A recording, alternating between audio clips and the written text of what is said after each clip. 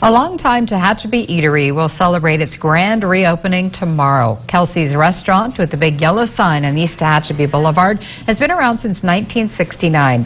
Over the past year, Bill and Virginia Sheridan have been making improvements to the place and have only been open part-time. Tomorrow, though, it's back to business full-time with the same old food customers have known and a few new recipes as well.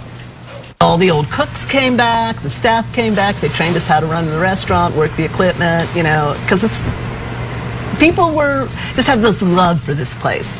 And, and it was just really kind of them to help us out. You know, teach us Martha uh, Pineda, who uh, was cook here for 27 years, has taught us the pie recipes, the pies that we'll be serving tomorrow.